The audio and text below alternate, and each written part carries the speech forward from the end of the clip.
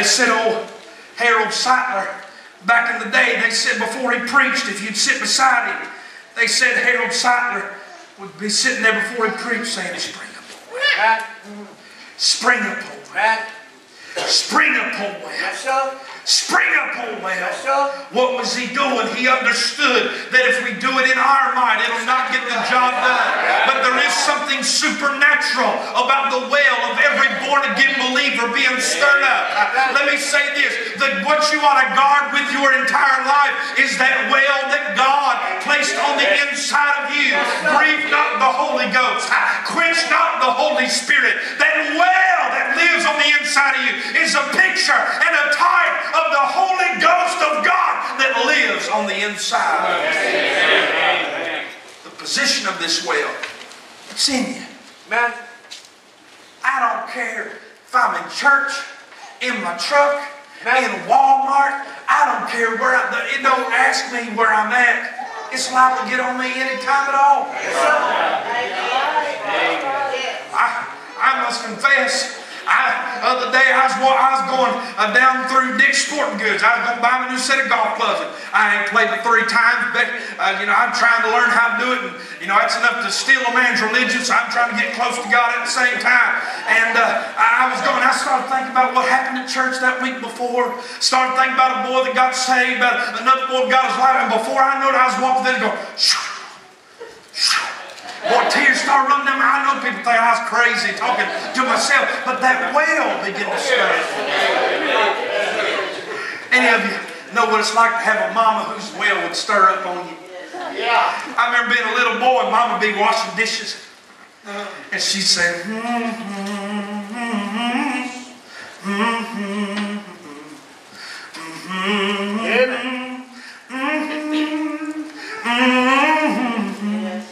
and I'd see her.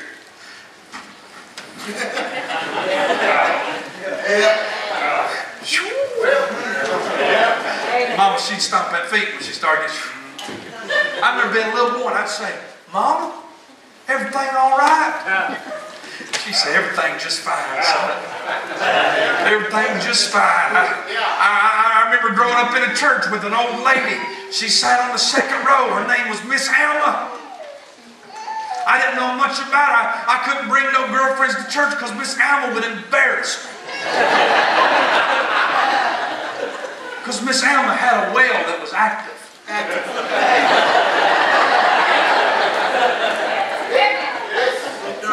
My daddy, he'd get to preaching the Word of God. At choir, get to singing. It didn't matter if it was their favorite singer. Man. Yes, right. It didn't matter if it was their favorite subject to be preached upon. It didn't matter if it was their family member that was behind the microphone.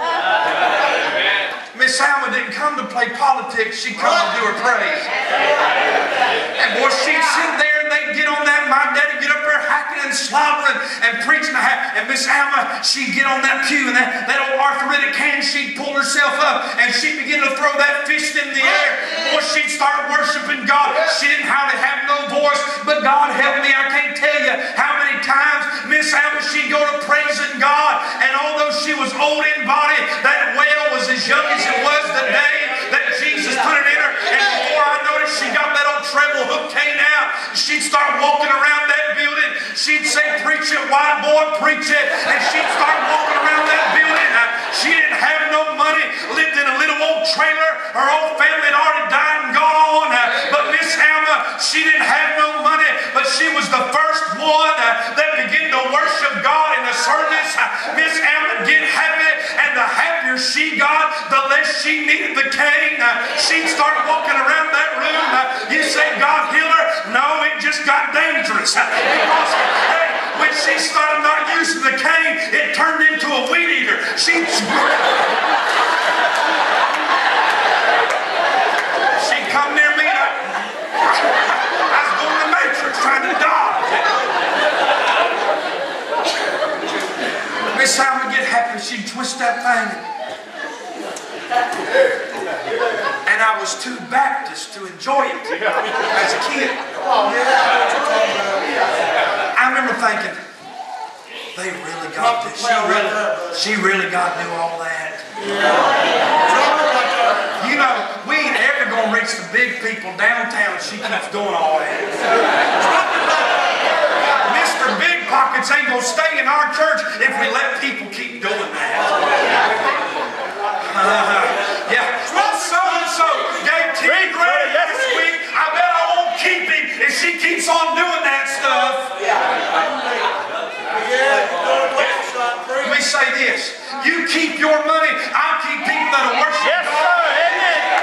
Yep. I'd have somebody that ain't got four limbs to run Yes, sir. but got the power of the Holy Ghost on their life. Yeah. I'm sick of that mess. Amen. Amen. Well, she's just drawing attention to herself. No, you are.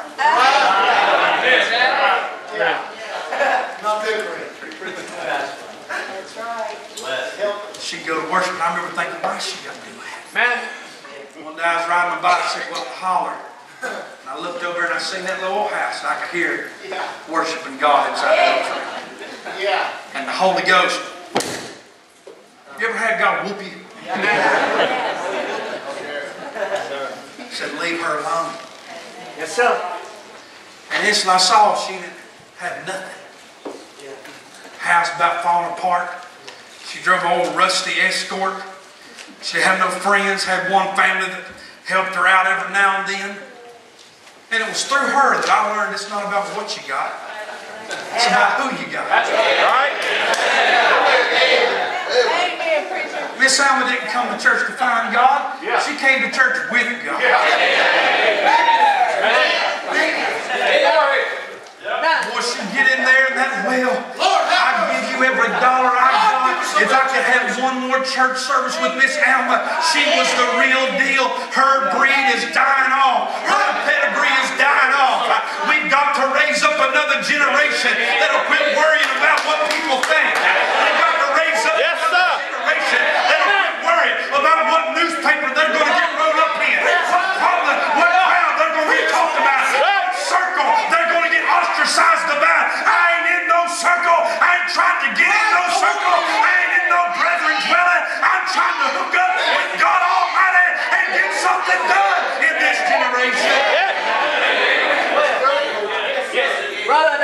Brother, that's your. Every circle I know is turned into a noose to somebody. Amen. People are, I wish y'all could go with me on the road. Preachers are scared to death anymore to let something happen. You ought to thank God for what y'all doing. I went, I ain't preached in so much liberty as I did here. I, I, I could have swore I was T.D. Jakes last night preaching. I, I, y'all preached me to death. There was so much liberty here. Amen.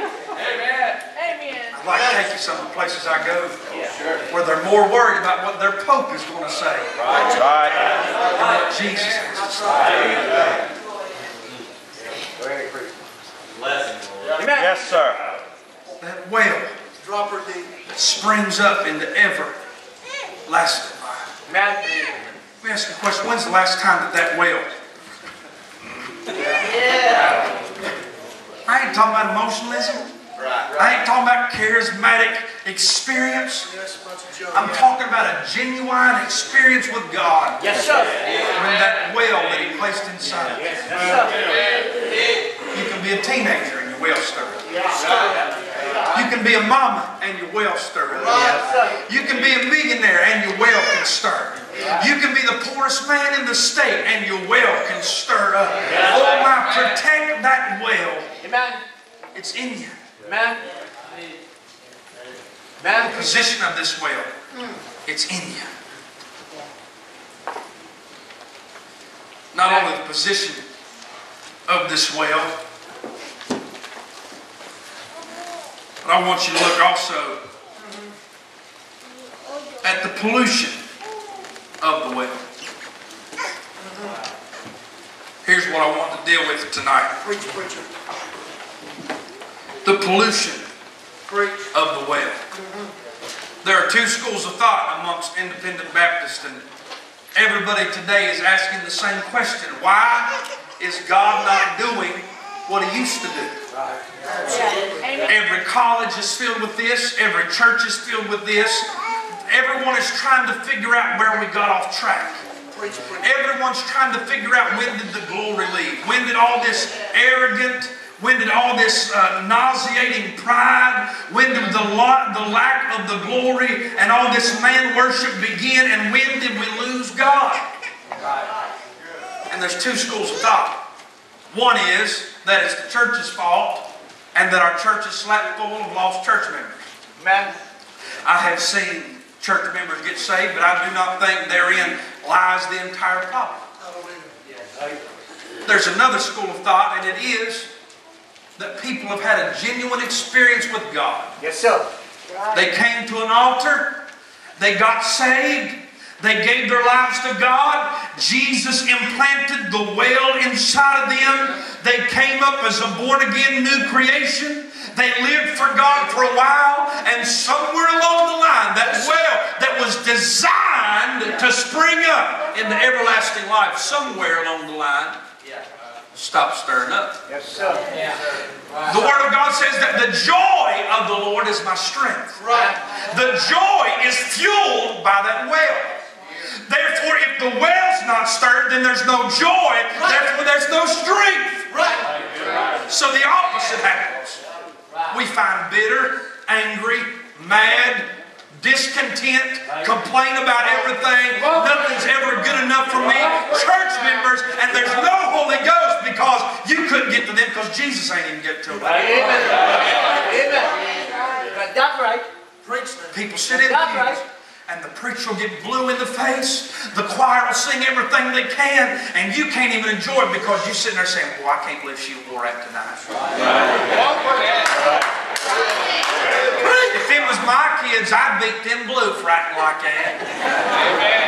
I was born in this. I, I don't know a lot, but I, I know, I know, I know what I'm talking about now. Listen to me. And a thousand things are going on, and instead of eating the manna from heaven, and instead of enjoying the goodness of God, you're worried about a thousand other things. The table's been spread, the power of God's real, the water's flowing freely, but you can't get none because your well has got trash on it and it's stopped. There's nothing worse than being in a service, and here's where our critical spirit comes from, than being in a service and watching over there to somebody getting blessed. And you can't get blessed. Sir. I've been there. I'm preaching myself right here. I know what it's like. Becky kills me. She's she, her and God, they so close, you know, and I'll, I, I'll look over her and she just weep and crying. And I'm like, she's faking it.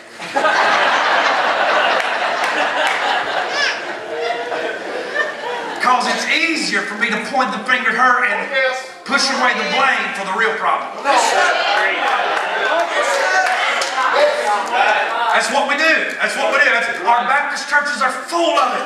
We don't want to deal with the real issue. My enemy is not another preacher. My greatest enemy is the enemy in me. And instead of dealing with the trash that's on the inside of me, we say, well, he's too charismatic. He, he, he, does, he, you know, he's all about that. Woo.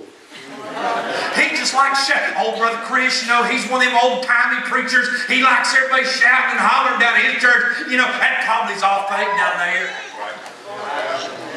And because that preacher down the road got a bad, mean spirit, instead of dealing with his problems, he points fingers at that church. That church down there is alive. So we're going to keep pushing fingers at them instead of dealing with the real problem. Uh, I, I was a terrible youth pastor. I was the worst one in the world. I was good at the Jesus stuff, but if you lock me in a building at 2 in the morning with a bunch of teenagers, you'll come home and find a bunch of dead youngins in the Jesus. I was terrible. I wasn't no good at it. But one thing I found in our group is we want to dress dirt up. Amen. Dress dirty. We tell them, put your tie this way, wear your skirt that long. I'm all about honesty. Don't go away here from saying something like that. We want to put everything right. We want to say, make your hair this long, do this, do that, do this, do that. And the whole time we're dressing up dirt and not dealing with the real problem. Right on track. Preach, preach. Right on top, brother. Right on Kids go home and daddy's a crackhead, mama's strung out on drugs, their whole world's falling apart, and they come to your place, and the only thing you've got to say is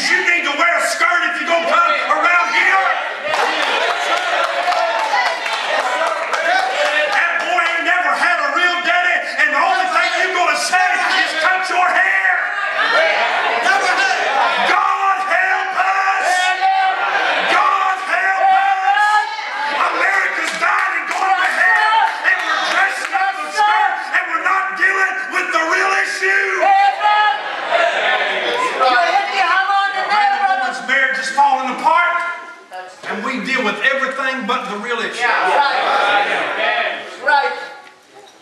I give you an A for that. and the problem is not the dress. Did you know I, I put a tie on? I've come to church. Every, I, I, know how to cross my T's and dot my I's. I can make you feel like I'm from First Baptist. Yes, sir. and be just as wicked just as carnal as anything in this world. Amen. Amen. You better watch out because God's got a big broom. Yeah. God's sick of this mess I'm preaching on right now. God's sweeping the floor. Because God realized we ain't got long. America's going to hell. And while America's going to hell, God's tired of all this, uh, all this uh, fake stuff. And He wants us to reach this generation. And He's looking for some people that'll get real. Amen. I'm doing my best to reach a generation without compromising truth. Sure. Amen. That the best king, brother. Without compromising. Did you know right, you can brother. still reach this generation and have joy and not compromise truth? Amen. That's good, brother. Where you got that from? Becky first got married. And uh, I, I love her to death. I always prayed that God would give me a pretty girl. I did. I said, Lord Jesus, Lord, give me a pretty girlfriend. And I, I did. I, I, boy, as soon as I, you know, I, I put a ring on her finger as soon as I could before she could figure out how crazy I was. And Preacher Brown, you know, we was both, I was in Bible college and her daddy was assistant pastor there at the time and she was raised there and we started going through marriage counseling. And somebody said this, they said, if you can go an entire year and make it through that first year, there'll be no problems at all. You'll make it. Everything's fine.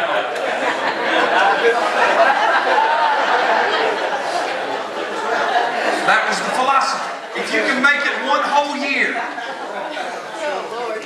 I remember thinking, man, I got it going on. I made it in the shade with a glass of lemonade. Everything's good. I got a pretty, ain't no, why in the world would I be mad? I done married above my raisins. Why in the world would I ever get mad at that?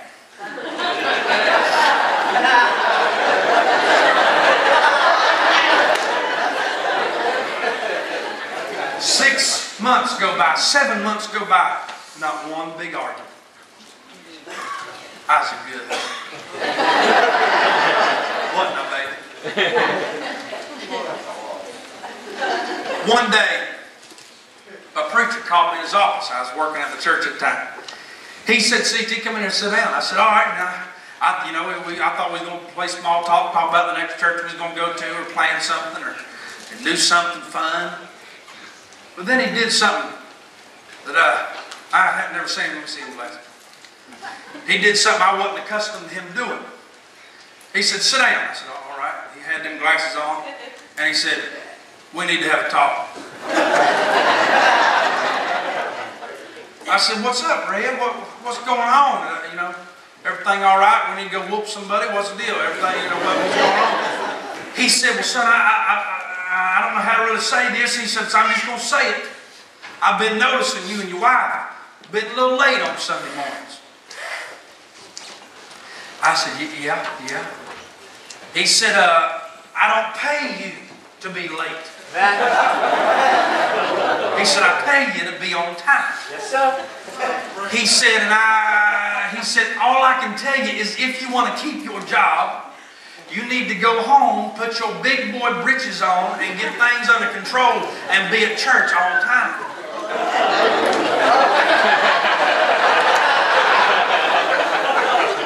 I said, obviously you do not know who Becky is.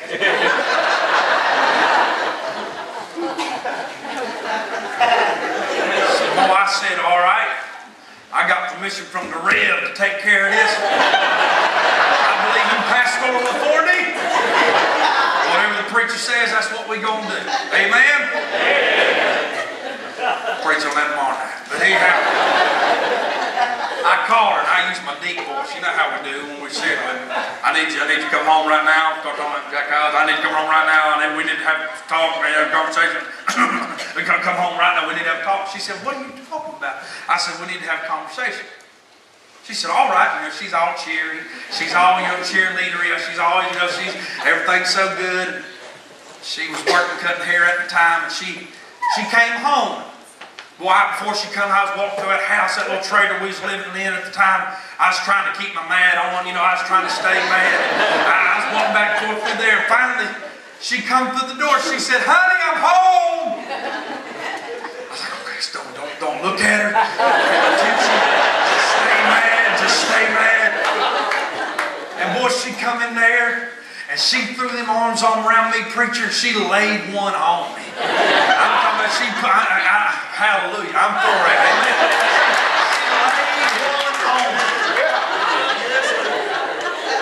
She hugged me, she said, I've missed you so much today. She said, I prayed for you today. She said, Did you have a good day? She said, Oh, by the way, what do you want to talk about?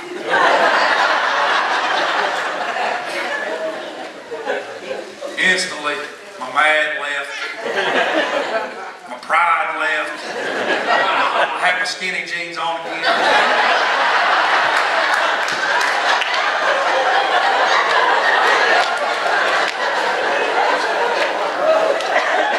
Wouldn't that be funny? And I said, I said, honey, you got, you know, I was, I was diplomatic now. I said, honey, you got to help me. I said, preacher's mad, he gonna fire me. He's mad because we ain't on time. She said, you didn't throw me on the bus, did you? I said, no, honey, I didn't. She said, what happened? After we talked about it, she said, honey, she said, I'm so sorry. She said, I'll make it up. She said, whatever I got to do, she said, I'll, I'll, I promise you, I'll be ready Sunday. How many of you ever said this? I don't care if you got to get up at 4 a.m. or 9 a.m., just be ready to go out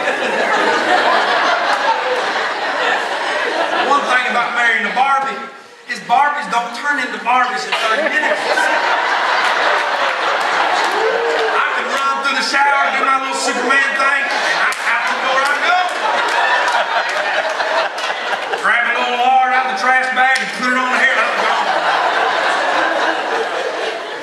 Nah, Becky, it is a process. It's a process. I remember Saturday night come by and I said, honey, you gonna be ready? Remember, remember what's going on? We gotta be ready in the morning. She said, honey, every, I've already got my outfit picked out, everything's good. I'll be ready, I promise. That's right, that's what I thought was gonna happen.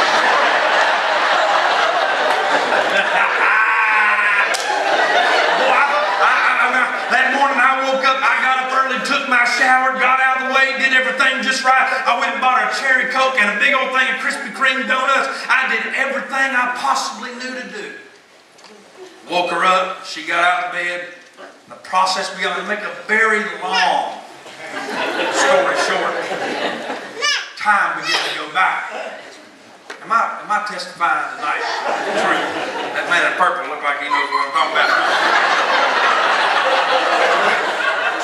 That process begins to go by, and I, I see that clock going by, and I'm like, oh Lord, you said you'd be a very present help in time of trouble. Let your angels come and help us help this girl get ready, do whatever you got to do. And she's still, boy, she, what's this outfit look like? I'm like, just put the black with the red and let's go, you know. Then, boy, she, she's a hairstylist, so she thinks she's a walking billboard for her business, so every hair has to be placed just right. Am I telling it right, honey? Am I telling it right? And boy, she, she back in there, she, she get that comb, she get that little fine tooth comb, and she pull that hair, but I mean, she get all that stuff and she she lay that thing back right on her head and she get them gallons of hairspray. She she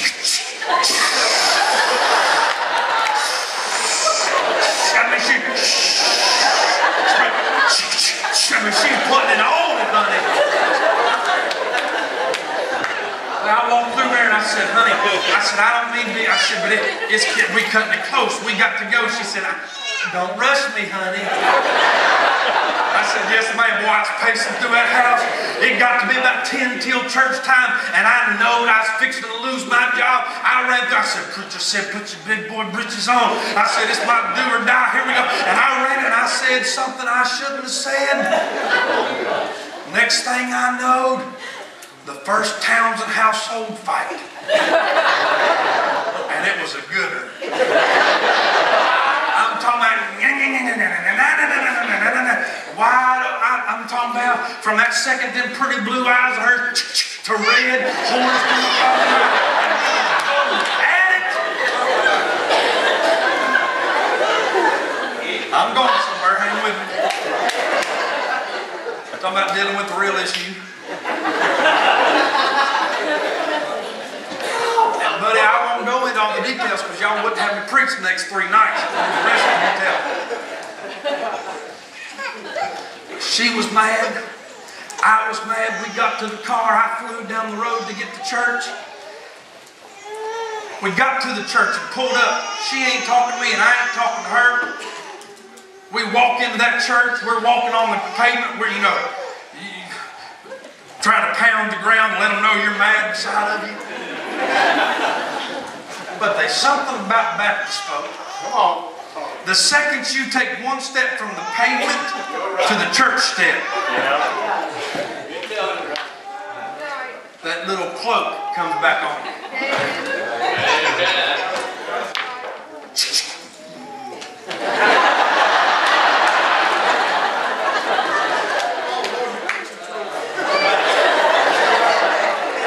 Those greeters. Hello, Brother Townsend. Praise God. I, I, good to see you, man. You're doing a fine job. Isn't it good to be saved? I mean, what a hallelujah. It's good to be. I could not wait to get here. I've been rejoicing, fasting, and praying all morning. It's a good day to go to church. Becky's over there. Oh, girl, I was about to buy that dress yesterday. That's so pretty. And she's doing her thing. But we was mean as devils five minutes ago. And then we put that cloak over our trash. Yes, well, preacher. We put that cloak over our trash and try to play the part. I wonder if we put a screen, how many people in here is playing the part? You know what to say. You know how to sing. You know how to look. You know how to dress. You know how to cloak it real well. I wonder if we just take that cloak off tonight. What would the real issue be? Yes, sir. We walked in. They was fixing to start the service. We made it just in time. I walked to my side of the choir, and she walked to hers. And seemingly everything was fine.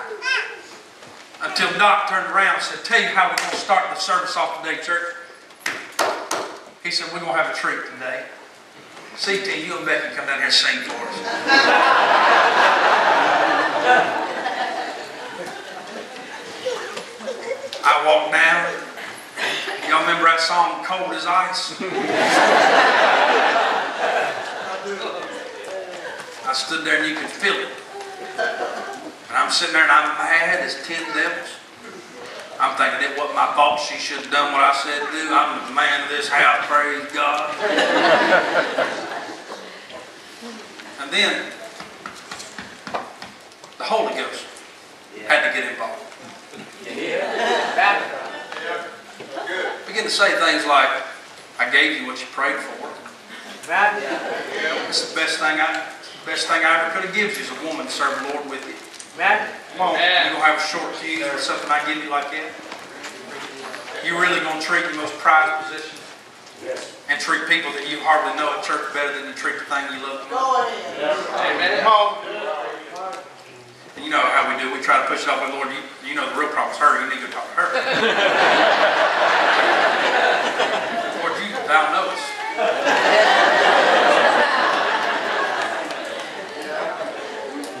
And the Holy Ghost just kept breaking my heart. Yes. And I look over, and I know very clearly that the Word of God says, if I regard iniquity in my heart, Amen. the Lord will not hear me. Amen. Amen. God don't play with trash. Amen. God will love you. God died for you. But when it comes to serving and living in the joy of God, He can't bless dirt. I sit there and I look over here and I see a mama that's dying with cancer. I see two little kids sitting beside her. And we're in a place that we can either be a blessing and a help to them or just do what everybody else does. And Just put a cloak on and act like everything's fine, and the Holy Ghost don't move at all. Amen. And I sit there and I look over here and I see a family that I know is fixing to fall apart. Amen. I see a kid over here whose mom and daddy finally got him to come to church, and I have to make a decision. Am I going to be right or am I going to be right? Amen. Amen. That's right. That's right. preacher began to pray to open the service tonight. I reached over and I grabbed Becky's hand. Tears run down my eyes. I said, baby, I'm sorry. Yes, sir. I shouldn't have said that to you. I, I should have responded better. I'm the high priest of this home. I should have done better. I failed the test. Amen. I'm sorry. Will you forgive me? The Bible says a soft answer turns away right? wrath. Amen. She broke. She started crying. She apologized. And before church was even started, me and Becky's having our own little altar call right there on Sunday. Amen. The big boy riches may be an old time country philosophy, but it's not always God's philosophy. I'd rather be right with God and right with my wife than I would be right with the old times. Amen. We made things right. We prayed. I stepped back. Boy, tears were running down my eyes. Becky got up to sing. And from the first breath, the first note she sang, you could feel the Holy Ghost going that room. Boy, I began to watch people. Nobody said a word. People started piling up in the altar. I watched that mom and them two babies go piling that altar and ask God to give them strength. I watched that family whose, whose family was falling apart. I watched them come to the altar and the Holy Ghost said, see what I can do if you just stay clean. Yes. Amen. See what I can do if you just keep that trash off your well. See what I can do if you'll just let that pride die inside of you. See what I can do if you'll just keep that trash off of your well. And I made a decision that day that I don't ever want to get in behind God's holy pulpit and have trash on my well. The price is too heavy. The price has too much weight. It's not worth it. If America's going to hell, people have real, genuine problems. And the only hope in America is old-fashioned Holy Ghost preaching. God help me to not play games.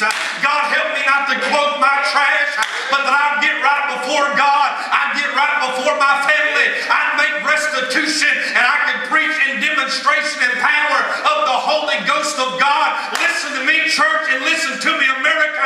If we've got to get back to holiness, we've got to get back to living right and standing right before God, not to appease the people, not to appease a man, but to live right before a thrice holy God. I still believe in holiness. I still believe in living right. I still believe in doing right. I still believe in having a right reputation and a good name among men. I still believe that if we're going to get the job done, we're going to have to take off the cloak and get God to get the trash off of our well.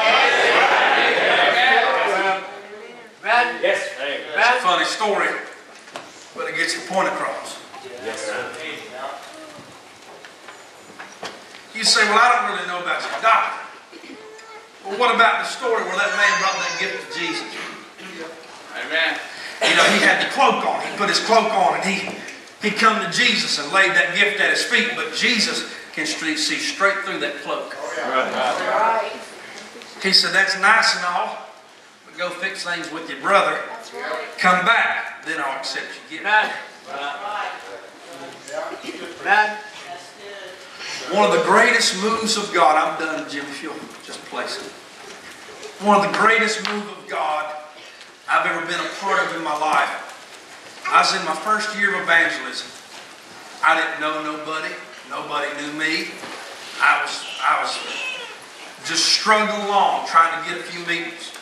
People had me and Becky come sing. I hardly ever got to preach. And I was just doing the best I knew to do to live for God. I started fasting and praying that God would let me see revival. Amen. Amen. I started praying and fasting that God would let me be a part of a revival. Amen. I had uh, I had an appointment up in the upstate of South Carolina. And uh, people started asking me, they started talking about the revival. And every time people would mention that church, they'd say, Well, that church used to be on fire. Big, huge, pretty building. The bottom floor would be barely full. That Sunday morning, I went in there and I preached, and God began to move. The altars piled up. Sunday night, I went back to preach again, I preached along the same vein of this about making things right with God and making things right with your brother. Forgiven, because you've been forgiven. Amen. Letting things go because God let things go for you. Right? Preacher, I'll never forget my Monday and Tuesday. Wasn't nobody getting saved. No miraculous worship services. But with tears in my eyes, I begged them people to get right with God. I've seen, I'll never forget this long as I live, I've seen a, a lady get up and I knew she'd been having problems with her family. And I watched her begin to weep and cry as she stood up with her cell phone, walked out of that church, and went and called that family member and made things right. I watched people over here that have been gossiping about people over there meet each other in the altar and say, I sure am sorry for saying what I said. Boy, y'all feel that? I sure am sorry for saying what I said about you. I seen jealous choir members that was jealous of the other because the other may get to sing another song they wanted to sing. And they met in the altar and said, it ain't about who gets to do what. It's about God getting the glory. I seen preachers, I've seen people go up to the pastor and say, Pastor, we've probably been a little negative about you, and we shouldn't have said what we said, and we shouldn't have been so stubborn. Pastor, you're the boss. Well, we're sorry. Yes. Please forgive me. Amen. Little by little. I can't, I couldn't even put it in the catalog all the things that God did in those couple of days. Wednesday morning, I woke up, middle of the night. God told me this, as only God can. All I heard was, I'm not done. Amen. You say, you mean God talks to you? Not, not in an audible voice, Yes, sir. but He talks a whole lot louder than that. Right, right, right, right, right, right. The Bible says, my sheep know my voice. Right. I thought, God, I ain't a pastor around here. You can't tell me that. I ain't got that kind of authority. I can't just say, like Nehemiah, I told no man what things God had put in my heart. And I told God, I said, God, if you'll tell that pastor to keep going, I'll cancel as many meetings as I got to cancel, and I won't leave this town till you say leave. I was hungry for something real. I went back to bed. About 9.30 that morning, that preacher called me. He said, Brother CT, he said, God wouldn't let me sleep last night. I barely knew him. That's the first time I'd ever even met him. He said, I know you don't know me well, and I don't know you well. He said, but Brother CT, so help me. All I could hear from God is he ain't done. I broke. I told that pastor, I said, Preacher, you ain't going to believe. And I told him, we pulled together. I said, Preacher, I make you the promise I made God. As long as God wants to sit in this town and do something, I'll stay here. I'll cancel as many meetings as I got to cancel. I want what God wants. We went back that night, and the power of God felt The same thing kept happening. We thought maybe this might go two extra nights. We went on Thursday. We said, let's go another night. We went Friday. About four or five got saved that night. I said, we said, let's come back Saturday. More people got saved. Word began to spread.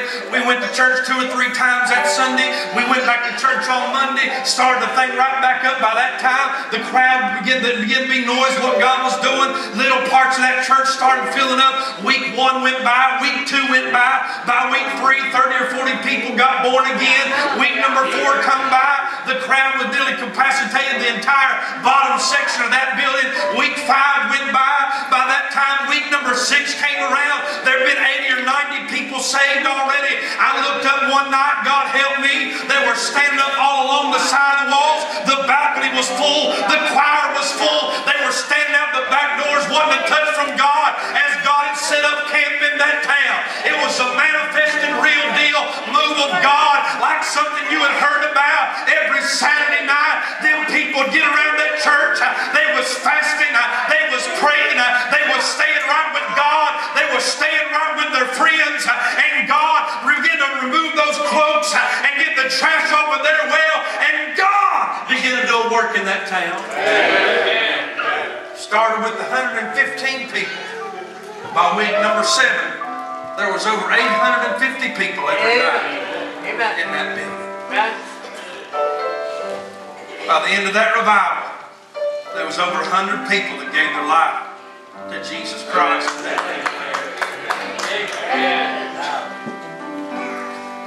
To this day, the fires are still burning. Those Carolina rallies, all they are is a birthing of that revival. The camps I've done, uh, we, we do, we do, we, we, we advertise one of them rallies, we just say we're going, and 1,500 teenagers will show up. Amen. Just birthed Amen. out of that revival. The flames are still blowing. A genuine move of God. But it didn't start because a good singing group sang good. And it didn't start because a bunch of people learned how to shout real loud.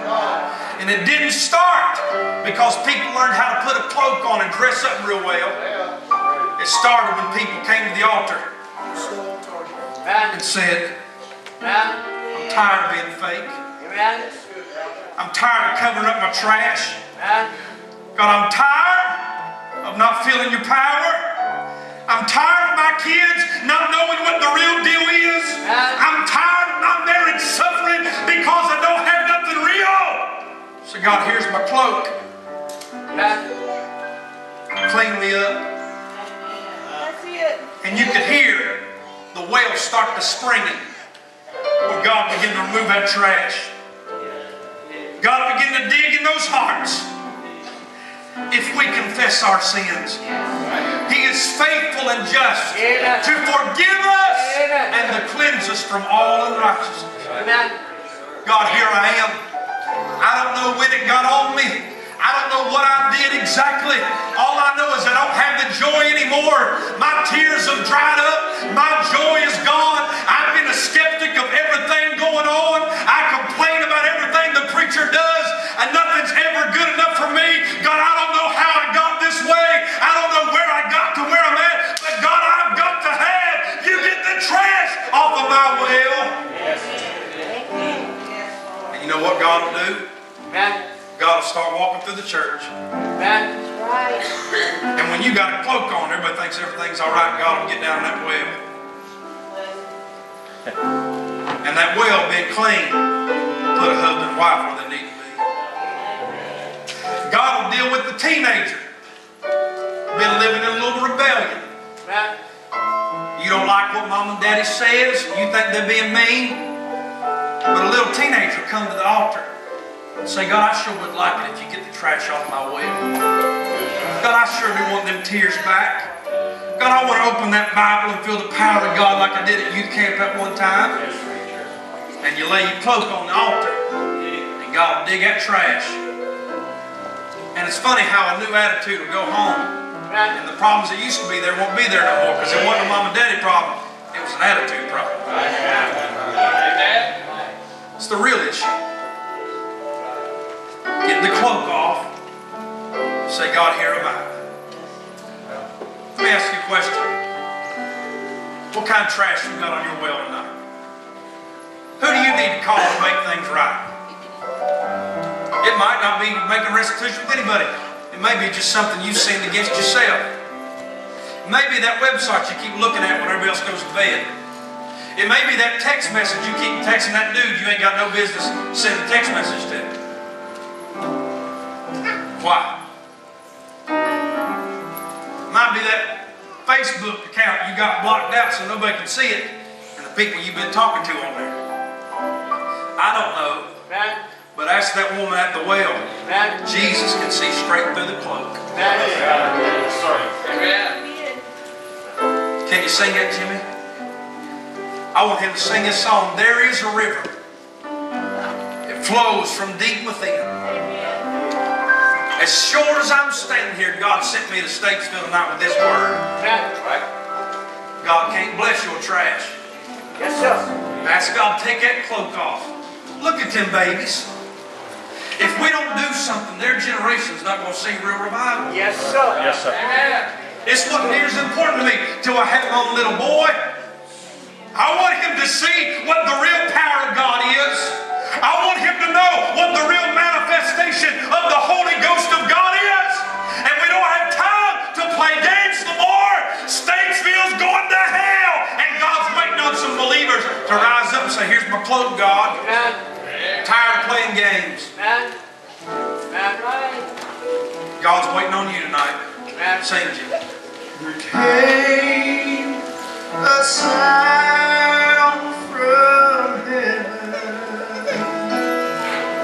like a mile.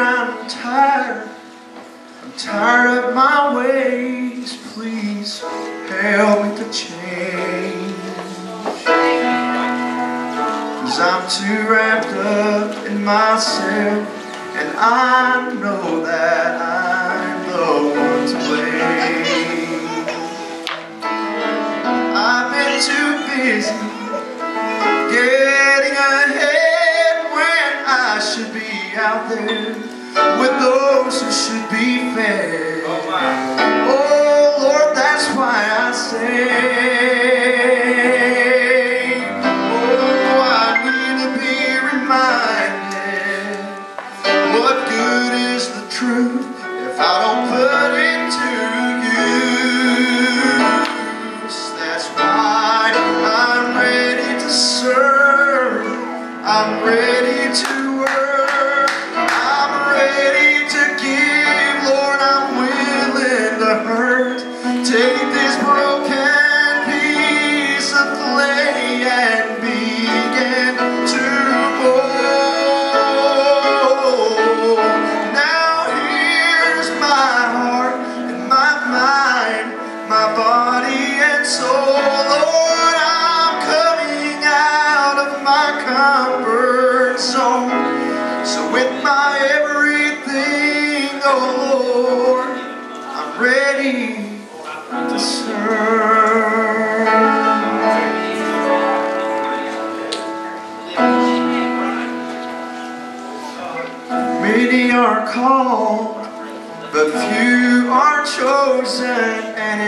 that we, the children of light, take this message to somebody in the night. Instead of running and hiding, help us see a world that's dying. Oh, but here we stand with the gospel